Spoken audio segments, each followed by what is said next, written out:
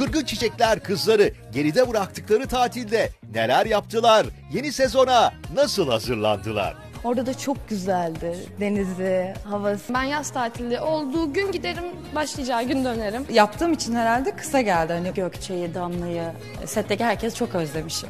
ATV yeni sezon tanıtım çekiminde birbirinden güzel ve farklı halleriyle karşımıza çıkan Kırgın Çiçekler oyuncularıyla kahkahası bol bir çekim gerçekleştirdik. Çok mutluyuz yani hepimiz. Özleştik. Çek böceğe bayılır benimki. Biraz süslendim sizin için.